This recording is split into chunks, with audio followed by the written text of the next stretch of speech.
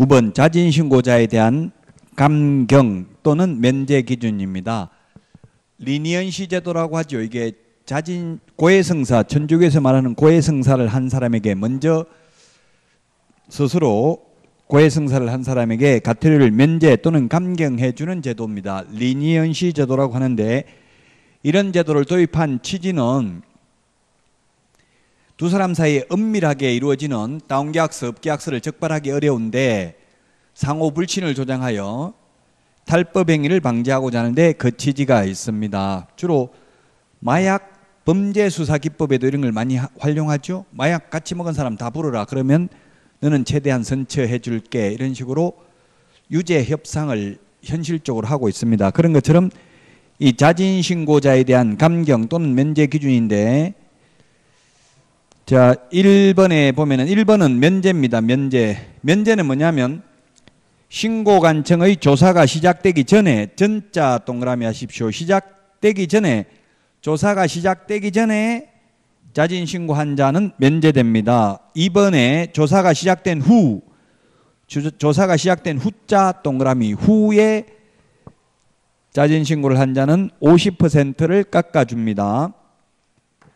자 그러면 100% 면제해 주는 1번에 다시 가번에 보면 자신 신고한 위반 행위가 다음 어느 하나에 해당할 것 1번 자진 신, 부동산 거래 신고를 하지 아니하게 하거나 거짓 신고하도록 요구한 자 그 다음에 거짓 신고를 조장하거나 방조한 자 동그라미 3번 거짓 신고한 자 외국인 부동산 등 취득 신고 위반한 자가 되겠습니다. 그래서 우리 핵심 비교 정리 프린터 47번에 보면은 47번에 보면은 자진 신고해도 면제 감경해 주지 않는 거세 가지 적어 놨습니다. 차라리 자진 신고해도 면제하거나 감경해 주지 않는 세 가지를 기억하는 게 더 빠를 수 있습니다. 그 세 가지가 뭐냐면 60일 이내에 미신고, 60일 이내에 부동산 거래 신고를 하지 아니한 경우, 그 다음에 거래 대금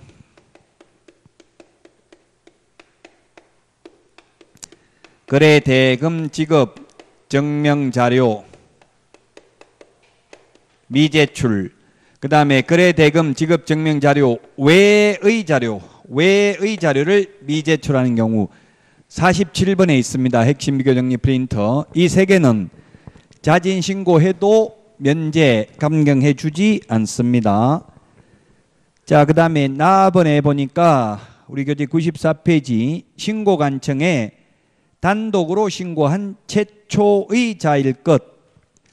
에 신고관청에 단독으로 신고한 최초의 자여야 합니다. 즉, 다운계약서는 매수인, 매도인 둘이 합의가 돼가지고 다운계약서를 적었겠죠?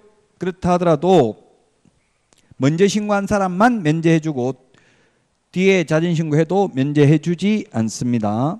자, 그 다음에 나번에 신고관청에 단독으로 신고한 최초이자일 것, 그 다음에 다번에 위반 사실 입증에 필요한 자료 등을 제공하는 등 조사가 끝날 때까지 성실하게 협조하였을 것, 이 요건을 갖추면 면제해 줍니다.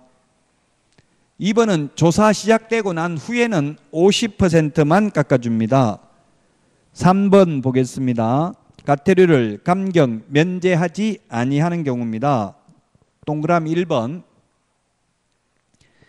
자진 신고하려는 부동산 등의 거래 계약과 관련하여 국세기본법 또는 지방세법 등 관련 법령을 위반한 사실 등이 관계기관으로부터 신고관청에 통보된 경우입니다.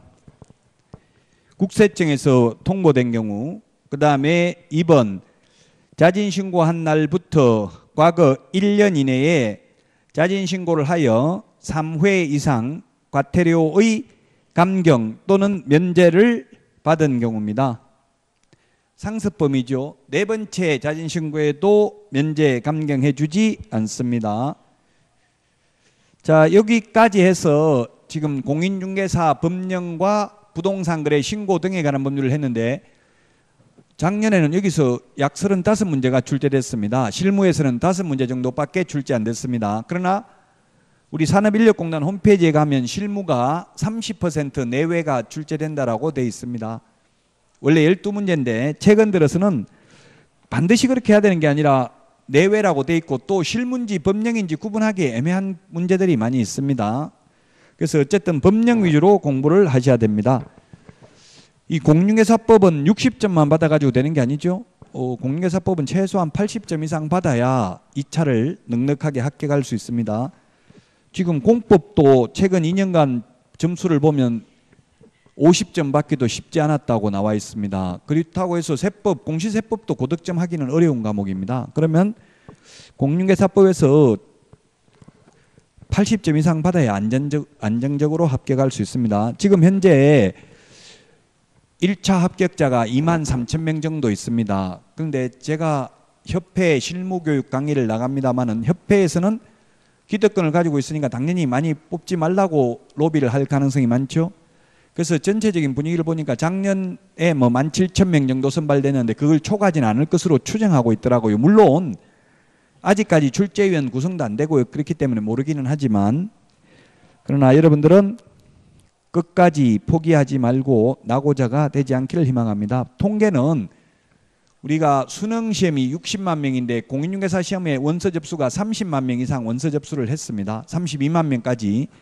근데 그 32만 명에는 1, 2차 같이 본 사람은 두 명으로 집계가 된 거예요. 그래서 순수하게 보는 사람은 한 20만 명 정도 되고요. 그 중에서 2차까지 응시한 사람이 8만 명밖에 안 됩니다. 그러면 거의 3명 중에 2명은 탈락한다는 이야기예요. 중간에.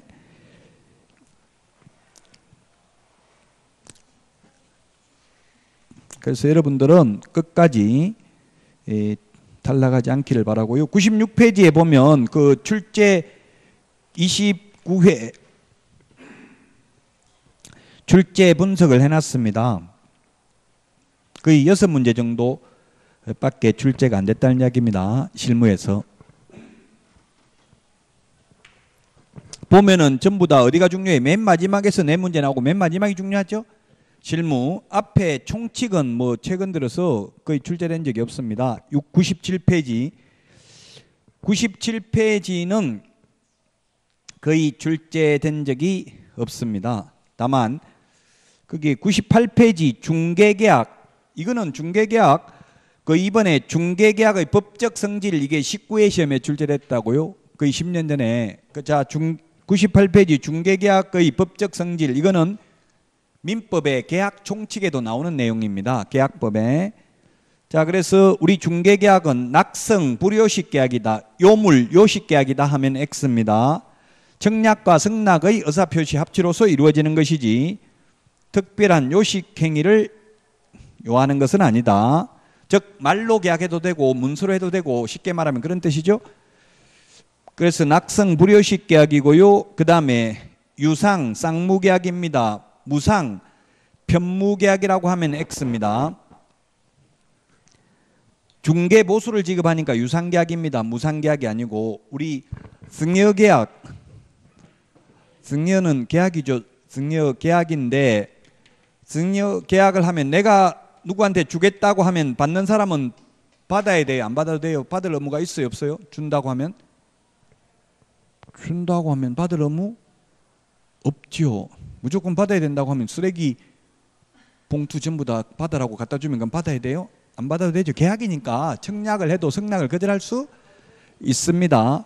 빚을 다또 안으면 어떻게 할 건데 빚 다 주면 받을 거예요? 빚을 주면? 예, 그래서 이게 무조건 공짜로 준다고 다 받을 의무가 있는 것은 아닙니다. 자, 그래서 이런 승여계약은 편무기, 편무계약입니다. 한쪽에만 의무가 있습니다. 그러나 우리 중개계약은 중개부수를 지급하니까 유상계약, 그 다음에 쌍무계약은 쌍방의 의무가 대가적 관계에 있습니다. 쌍무계약, 쌍, 양쪽이 다 의무가 있다는 이야기죠. 의뢰인은 중개보수를 지급할 의무가 있고 개업공개사는 거래를 성사시키기 위해서 선량한 관리자의 주의무를 할 주의무를 다할 의무가 있습니다. 그래서 유상 쌍무계약이다. 물론 순수한 쌍무계약이 아니라 조건무 쌍무계약, 특수한 쌍무계약, 편무계약에 가까운 쌍무계약 이런 말을 합니다. 왜냐하면 개업공개사가 거래를 성사시킬 의무는 없죠. 안 팔리는데 어떻게 팔립니까? 살 사람이 없는데 직접 거래도 불가능하니까 그러나 팔기 위해서 선량한 관리자의 주로서 최선을 다해서 노력은 해야 된다. 그래서 조건부 쌍무계약이다 이렇게 부릅니다. 상사중개가 아니라 민사중개입니다. 이건 10년에 한 번 시험에 나오니까 크게 심려치는 마십시오. 상행위를 중개하는 것을 상사 중개고 상행위 이외의 부동산 중개, 직업 중개, 혼인 중개를 민사 중개라고 합니다.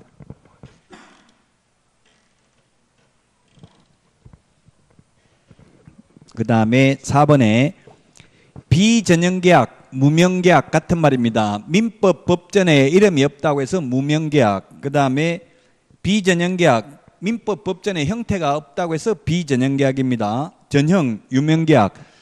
민법의 계약의 형태는 몇 개가 있어요? 민법의 전형 계약은 15개가 있죠. 14개 있는데 여행자 계약이 하나 더 생겼잖아요. 시험에는 출제되지 않습니다. 어쨌든 민법전에 중개 계약은 없다고요. 자, 그 다음에 3번에 중개계약의 유형이 있는데 시험에는 거의 안 나오는데요. 어, 중개계약의 유형, 종류입니다. 중개계약의 종류.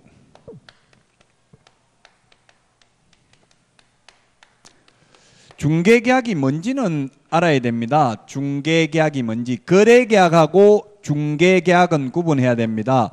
매도인 파는 사람, 매수인 사는 사람, 개업 공인중개사가 있으면 우리 집 좀 팔아주세요. 팔아드리겠습니다. 우리 집 좀 사주세요. 살 사람 소개시켜 주세요.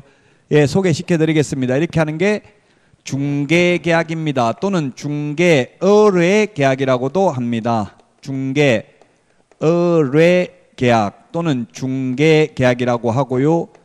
중개가 완성되어서 거래 당사자 간에 맺는 계약을 거래 계약이라고 합니다. 매매 계약, 교환 계약, 임대차 계약 이런 게 거래 계약이죠. 그래서 거래 계약하고 중개 계약은 구분해야 됩니다. 시험에 중개 계약은 거래 당사자 간에 맺는 계약이다. X 이렇게 출제된 적이 있습니다. 자, 그러면 이 중개 계약의 종류를 보면 일반 중개 계약, 그 다음에 독점 중개 계약, 그 다음에 전속 중개 계약, 그리고 공동 중개 계약, 공동 반대가 단독, 그 다음에 순가 중개, 순가, 정가, 그 다음에 정률 중개가 있습니다. 일반 중개, 독점, 전속 이 세 개는 개업 공중개사와 의뢰인의 권리 의무에 따라서 분류하는 방식입니다. 일반 중개 계약이라는 것은 의뢰인이 여러 개업 공인중개사에게 경쟁적으로 중개를 의뢰하여 이 중에서 가장 먼저 거래 계약을 성사시킨 개업 공인중개사에게만 중개 보수를 지급하는 하면 되는 형태로 우리나라에서 가장 많이 이루어지고 있습니다. 미국에서는 이것을 open listing이라고 해서 열려 있다. 누구 여러 군데 내놓을 수 있다는 이야기죠. open listing이라고 해서 소송의 초대장이라는 말이 있을 정도로 분쟁의 소지가 많다라고 했습니다. 그래서 미국에서는 독점 중개를 권장하고 있습니다. 독점이라는 것은 특정한 개업공개사에게 배타적 권리를 인정하는 겁니다. 그래서 독점 중개계약 유효 기간 내에 거래가 이루어지면 누가 거래를 성사시켰는지 여부를 묻지 않고 무조건 독점을 맺은 개업공개사에게 중개보수를 지급해야 되는 형태입니다. 개업공개사에게 가장 유리할 수 있습니다. 우리나라에서는 규정이 없습니다. 우리나라 공인중개사법에 직접 규정이 있는 것은 일반 중개계약하고 전속 중개계약 두 개밖에 없습니다. 전속 중개계약도 독점 중개계약과 마찬가지로 특정한 개업공개사에 하나여 중개를 일임하는 점은 독점하고 똑같은데요. 다른 점은 독점은 누가 계약을 성사시켰는지 여부를 묻지 않고 무조건 중개보수를 받을 수 있는데 전속은 전속 중개계약 유효기간 내에 의뢰인 스스로 발견한 거래 상대방과 직접 계약을 체결한 경우에는 중개 보수나 위약금을 지급할 의무는 전혀 없습니다. 다만 중개보수의 50% 범위 내에서 개업 공개사가 소요된 비용을 받을 수 있을 뿐이죠. 그 비용의 한도가 중개보수의 50%까지밖에 인정 안 됩니다. 전속 중개계약은 자 그래서 일반 중개계약이면서 동시에 전속 중개계약일 수는 없습니다. 이 세 개는 양립할 수 없습니다. 그런데 전속 중개계약이면서 공동 중개일 수도 있고 전속 중개이면서 단독 중개일 수도 있습니다. 일반 중개이면서 공동일 수도 있고 일반 중개이면서 단독 중개일 수도 있습니다. 단독 중개, 공동 중개는 개업 공개사의 숫자에 따라 분류하는 방식입니다. 두 사람 이상이 개입되어서 거래를 성사시키면 공동 중개 계약. 혼자서 양쪽을 다 소개하면 단독 중개가 되겠습니다. 그러면 돈을 많이 벌려면 단독 중개하면 혼자서 양쪽을 다 소개하면 양쪽 다 중개보수를 받겠죠? 공동 중개가 되면 개업공개사가 두 명 이상이 되면 중개보수를 양쪽 다 받을 수가 없죠. 한 개업공개사가. 그러면 만약에 시험에 돈을 많이 벌려면 앞으로 단독 중개를 활성화시켜야 된다. 공동 중개를 활성화시켜야 된다 하면 답은 공동 중개를 활성화시켜야 됩니다. 왜냐하면 혼자서 소개해가지고 양쪽 다 받으려고 아끼다가 다른 사람이 먼저 소개해버리면 한 푼도 못 받죠. 그 공동 중개하면 한쪽이라도 받을 수 있으니까 빨리 여러 건을 하는 게 더 낫다고 여러 건수를 하는 게 혼자서 다 하려고 욕심지기는 것보다 따라서 공동 중개는 조직화 능률화에 이상적이고 인터넷 시대에 적합한 중개 계약이다.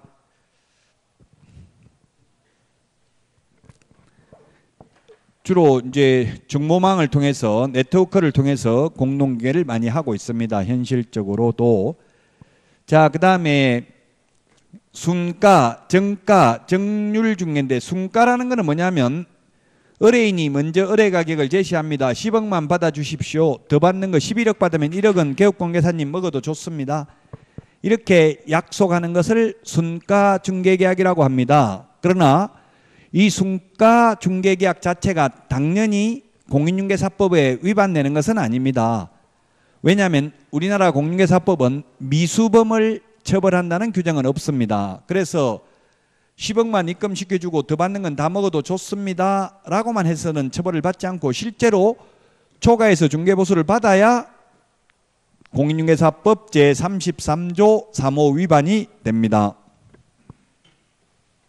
33조 제3호가 중개보수 또는 실비를 초과해서는 어떠한 명목으로라도 금품을 받아서는 아니 된다라고 돼 있죠.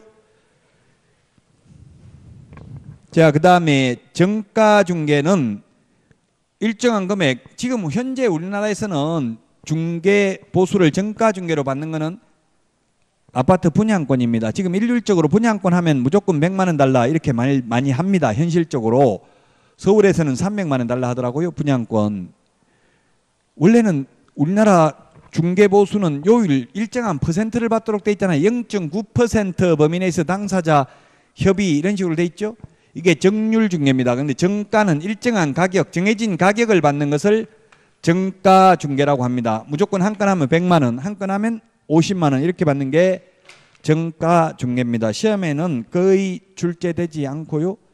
굳이 출제된다면 좀 공동 중개 이런 게 나올 가능성이 앞으로 많아요. 왜냐하면 앞으로 공동 중개를 활성화 시켜야 되니까 공동 중개, 전속 중개 이런 것들이 출제될 가능성은 있습니다. 자, 그 다음에 99페이지 중개 대상물 조사 확인입니다. 중개 대상물 조사 확인은 시험에 출제가 됩니다. 우리 공인중개사법의 가장 주된 내용은 뭐냐 하면 계약하기 전에 미리 의뢰인에게 권리관계 등을 확인 설명하고 만약 설명을 잘못했으면 의뢰인에게 손해배상을 해야 된다. 그 손해배상을 하기 위해서 의무적으로 보증보험이나 공제공탁을 가입해야 된다. 이게 가장 핵심적인 내용입니다. 공인중개사법이 국민들을 보호하기 위해서 있는 법이거든요. 그래서 조사 확인하는 게 중요하고요. 99페이지 조사 확인해야 될 사항 1번 조사 확인할 조사 확인 방법입니다. 양가로 1번 중개 의뢰인을 통해서 확인하는 방법 2번 공부를 통해서 확인하는 방법 3번 현장 답사를 통해서 확인하는 방법 세 가지가 있는데 이 셋 중에서 어느 방법이 가장 바람직할까요? 예, 답은 세 가지 모두 다 하는 게 바람직합니다. 따라서 실무사항은 뭐뭐만 확인하면 충분하다 X입니다. 모든 방법을 가급적이면 여러 가지를 확인하는 게 바람직합니다. 그래서 현실적으로도 일차적으로 어린이한테 물어봐야 되죠. 어디에 있는 집입니까? 뭐 보통 몇 평짜리입니까? 물론 평이란 말을 하면 안 되는데 몇 제곱미터입니까? 이렇게 잘 안 하잖아요. 현실적으로 몇 평짜리입니까? 얼마 받고 싶습니까? 이렇게 묻고 나서 공부 때 보고 실체 권리관계와 부합하는지 확인하고 현장 답사까지 해봐야 됩니다. 뭐 법에 현장 답사를 해봐야 된다는 규정은 없지만 하는 게 바람직한데 저도 현업에서 현장 답사를 잘 했는데 오래 근무하시는 분들은 매너리즘에 빠져서 현장 답사를 잘 안 하더라고요. 왜냐하면 아파트 단지 안에서 중개사무소를 하면 아파트 구조를 다 알잖아요. 많이 가봐가지고. 그러나 또 그 실내 인테리어를 어떻게 했느냐에 따라서 완전히 느낌이 달라요. 그래서 가급적이면 현장을 가보는 게 바람직합니다. 그래서 시험에 현장 답사를 통해서는 공부에 나타나지 않는 사항만 조사하면 충분하다 X입니다. 충분한 게 아니라 가급적이면 여러 가지를 하는 것이 바람직합니다. 자, 99페이지 확인 설명해야 될 사항 9가지가 있는데 우리 핵심 비교 정리 프린터 6번에 보면 있죠? 6번. 우리 핵심 비교 정리 프린터 6번에 보면 확인 설명해야 될 사항 9가지가 있습니다. 기권, 가공, 상태, 환지세, 기권, 가공, 환지세입니다. 그 부동산을 특정 지을 수 있는 기본적 사항, 그 다음에 권리관계, 거래 예정 가격, 거래 예정 금액, 예정 가액 같은 말입니다. 개업공개사가 계략적으로 평가한 금액입니다. 그리고 중개보수 산출 내역, 토지 이용 계획, 공법상 이용 제한, 거래 규제, 그 다음에 시설물의 상태, 벽면 및 도배 상태, 환경 조건, 입지 조건, 취득 관련 조세의 종류 및 세율 아홉 가지 암기해야 됩니다. 시험에 잘 출제됩니다. 기권, 가공, 상태, 환지세, 우리 핵심 비교 정리 프린트 이 두 장에 다 들어가 있다는 것은 중요합니다. 이 두 장 페이지 수 4페이지밖에 안 되는 4개 지금 들어갔다는 것은 시험에 아주 자주 출제되는 부분들입니다. 자, 그러면 100페이지 기본적 확인 사항 중에서 먼저 소재지입니다. 소재지는 지번 설정 단위 지역인 리 동에다가 지번 번지수까지 적는 것을 소재지라고 합니다. 자, 그런데 소재지는 실무적으로 보면 단독주택, 공동주택 이게 시험에 많이 출제됐습니다. 단독주택은 단독, 그 다음에 다중, 다가구, 총리 공관, 시장 공관, 그 다음에 공동주택은 아파트, 연립,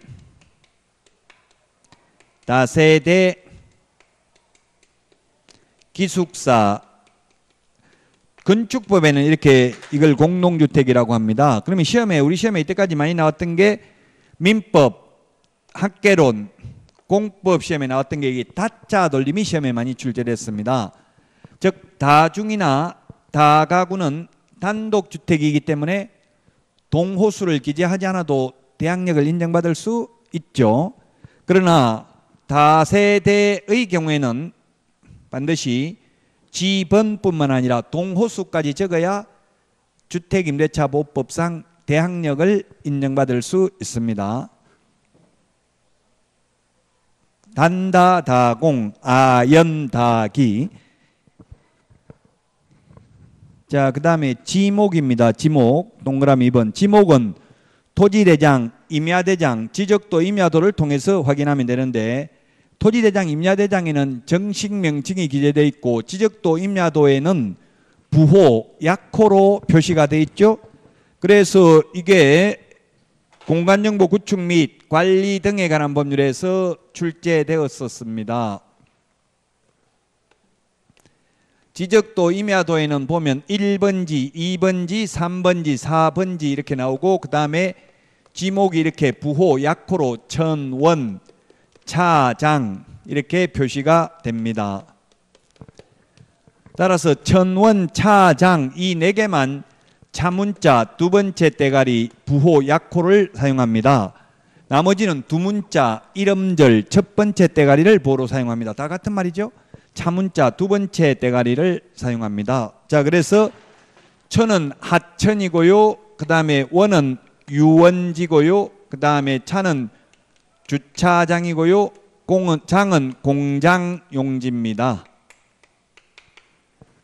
천원, 차장 이 네 개만 차문자 이음절 두 번째 대가리를 보로 사용한다.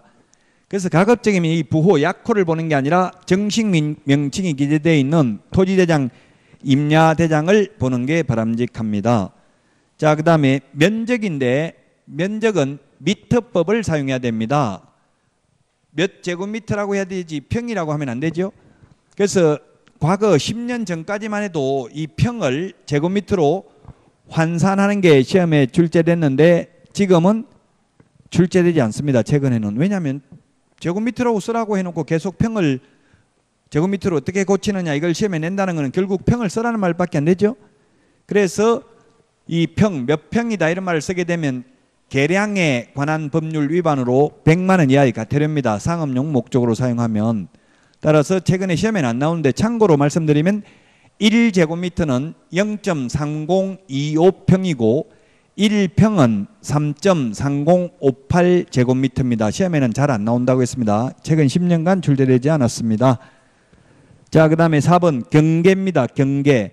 경계, 지형, 지세가 있는데 경계는 이 지적도 임야도 상의 선이 경계가 되겠습니다. 그 다음에 지형은 땅이 생긴 모양입니다. 지형도 지적도 임야도를 통해서 확인할 수 있습니다. 4번지가 생긴 모양 이렇게 생겼습니다. 그러나 지세는 기울기, 경사도, 지세는 지적도, 임야도를 통해서 확인할 수 없습니다. 현장 답사나 등고선이 표시되어 있는 지형 도면을 통해서 확인을 해야 됩니다.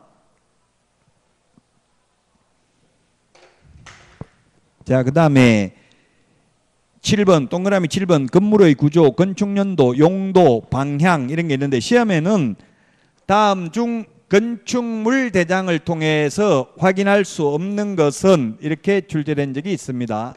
별로 중요하지 않죠. 건축물 대장을 통해서 확인할 수 없는 게 뭐가 있느냐면 대표적인 게 시험에 나왔던 게 방향, 그 다음에 건축 설비,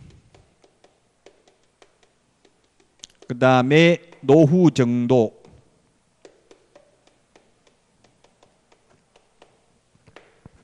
이 세 개는 건축물 내장을 통해서는 확인할 수 없습니다. 방향은 현장 답사를 통해서 확인해야 되고 건축 설비는 설계 도서 중에서 시방서를 통해서 확인해야 되고요. 노후 정도는 현장 답사를 통해서 확인하여야 합니다.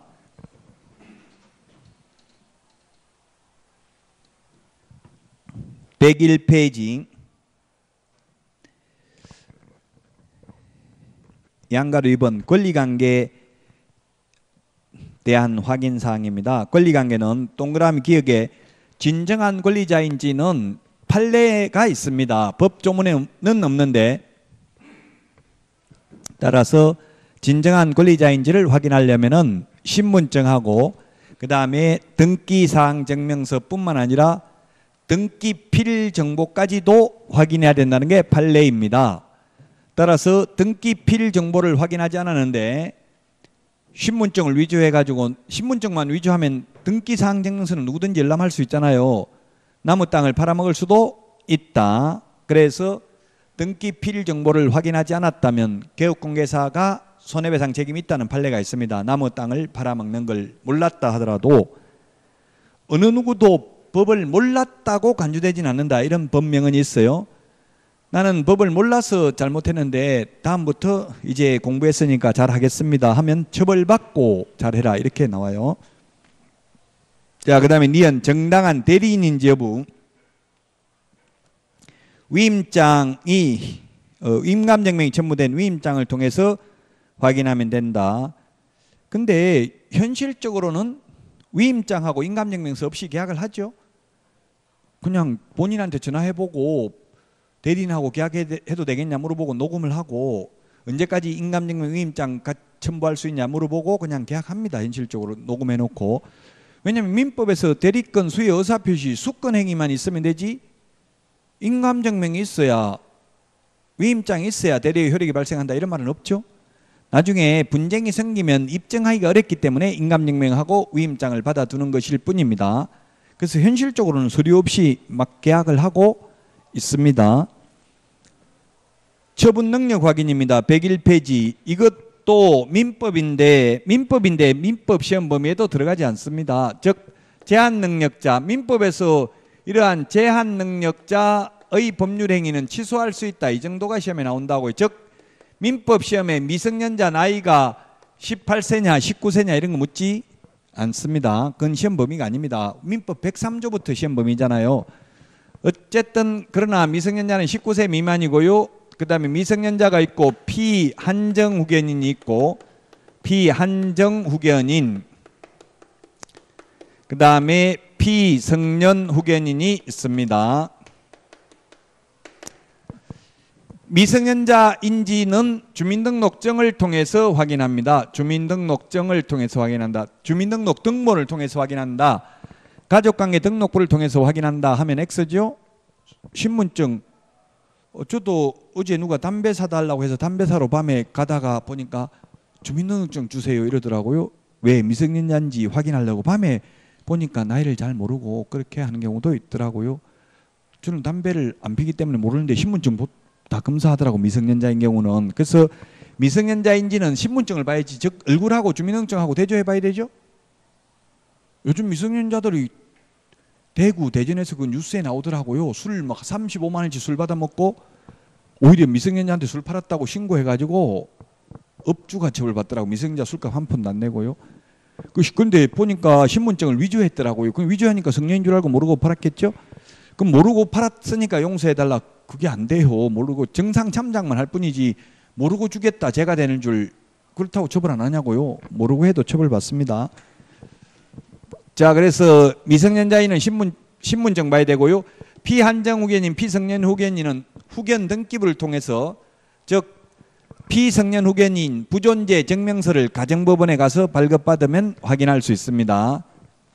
자, 어쨌든 우리 시험 우리는 지금 중개 실무상은 중요한 게 이 미성년자나 피한정 후견인의 경우에는 법정 대리인하고 계약을 해도 되고 법정 대리인의 동의를 받았으면 이 미성년자나 피한정 후견인과 직접 계약을 해도 무방합니다. 그러나 피성년 후견인의 경우에는 반드시 그 법정 대리인하고 계약을 해야 되고 왜냐하면 피성년 후견인의 법정 대리인은 대리권만 있을 뿐이지 동의권은 없습니다. 따라서 피성년 후견인의 경우 법정 대리인 동의 받아도 단독으로 유효한 법률 행위를 할 수 없습니다. 즉 계약을 할 수 없습니다. 그러나 실무적으로 보면 멀쩡한 사람이 왔는데 피성년 후견인 부존재 증명서 떼오세요 이런 말 하기 어렵죠. 그래서 현실적으로는 이런 사람이 걸려가지고 법률 행위 즉 계약이 취소당한다면 재수 없다고 생각할 수밖에 없 어요. 현실적으로는 어쨌든 어떤 경우에 피한정 후견인이 되는지 피성년 후견인이 되는지 미성년자가 되는지 그거는 시험에 나오지 않아요. 다만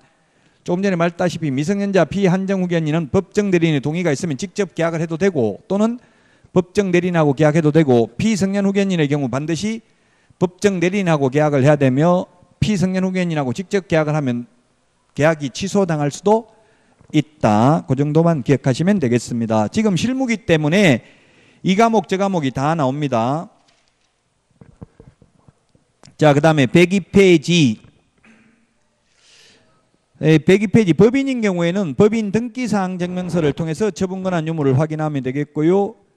그 다음에 10번에 공동소유입니다. 민법에서 소유 형태가 구체적인 거는 민법에서 해야 됩니다. 이거 자세하게 하려면은 저 혼자 전과목 강의 다 해야 돼요. 민법의 소유 형태를 보면 단독 소유, 공동 소유가 있고 공동 소유는 다시 공유, 합유, 총유가 있는데 만약에 공유라면은 공유라면은 A가 공유 지분만을 처분하려면 다른 공유자 동의받을 필요 없습니다. 그러나 공유물 전체를 매각하려면 다른 공유자 동의받아야 되죠? 합유인 경우 합유 지분만 처분하더라도 다른 합유자의 동의받아야 됩니다. 총류는 지분이 없기 때문에 사원총회 결의를 거쳐야 됩니다. 인터넷에 치보면 청계산, 기획부동산 이렇게 치보면 청계산 땅을 3천 명에게 지분으로 어, 지분으로 이걸 팔아먹어 버렸더라고요. 그럼 공유자가 3천 명인데 그 매수인 살 사람이 있겠어, 없겠어요? 그 죽을 때까지 동의 받아도 3천 명 동의 다 못 받아요. 민주주의에서 3천 명 동의 받을 수 있겠어요? 절대로 못 받겠죠. 한 사람은 나는 죽어도 절대 못 판다 아마 이렇게 나올 거예요. 수용되지 않는 한 팔아먹을 수 없습니다. 3천 명 동의 받는 건 불가능입니다. 그래서 여러분들이 기획부동산 걸 사도 됩니다. 되는데 이 공유 지분이 다섯 명 넘게 넘어간다면 세 명 이상 넘어간다면 그 동의 다 받기 힘들겠죠. 안 그래도 지금 오늘 친구가 연락 왔더라고. 다른 공유자 공유 지분인데 다른 공유자가 팔려고 하는데 이게 동의해 줘야 되냐 묻더라고. 제가 빨리 동의해 주라고 했어. 만약에 동의 안 해줬다가 이제 서로 기분 안 좋으면 내가 팔아먹고 싶을 때 그쪽에서 동의 안 해주겠죠. 그래서 공유물 전체를 매각하려면 동의 받아야 됩니다. 자, 그 다음에 3번 공법상 양가로 3번 공법상 이용 제한 거래 규제는 토지 이용 계획 확인서를 통해서 확인하면 되고요. 그 다음에 양가로 5번 양가로 5, 6, 7, 8 이거는 그냥 내외부 시설물의 상태, 벽면 및 도배 상태, 환경 조건, 입지 조건, 취득 관련 조세의 종류 및 세율 요건 확인 설명해야 될 내용이라는 것만 기억하면 되겠습니다. 자, 그러면 이제 103페이지 확인 설명서 서식 비교인데 3번에 이 확인 설명서 서식 비교부터는 여기 시험에 한 문제 나옵니다. 103페이지 확인 설명서 서식 비교 29회도 출제됐잖아요. 근데 똑같이 안 나오고 이거는 반드시 20, 103페이지 확인 설명서 서식 4개 서식 비교하는 건 시험에 한 문제 출제됩니다. 여기서부터 쉬었다가 하도록 하겠습니다. 문제 다 풀어보시기 바랍니다.